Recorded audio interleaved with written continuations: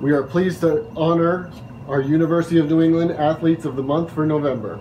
Today we have Nicole Matarozzo, a senior on the field hockey team, and Brady Fleurent, a sophomore on the men's ice hockey team.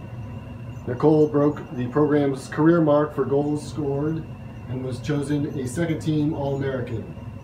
She also participated in the Division III Senior All-Star Game.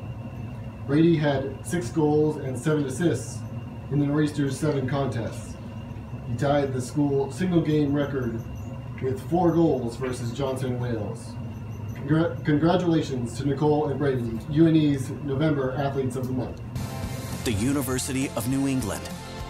Innovation for a healthier planet.